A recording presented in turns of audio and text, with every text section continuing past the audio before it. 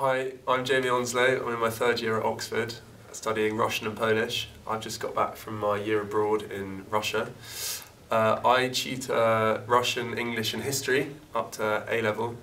Um, and I tutor because I've always enjoyed learning and I want to uh, inspire and pass on that passion to younger people because I think everyone should enjoy learning. Um, my hobbies, I really enjoy travelling and I write and perform uh, stand-up comedy.